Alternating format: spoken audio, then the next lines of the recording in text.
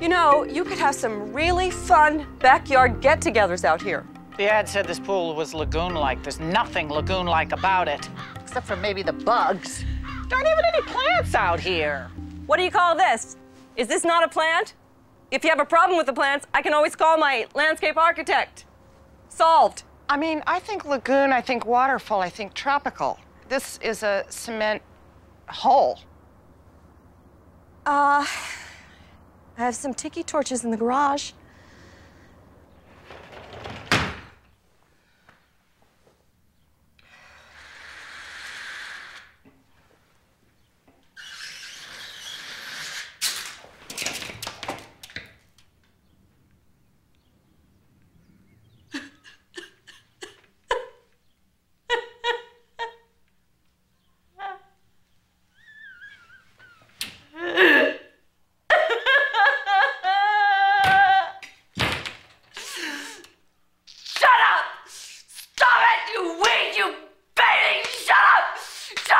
Shut up!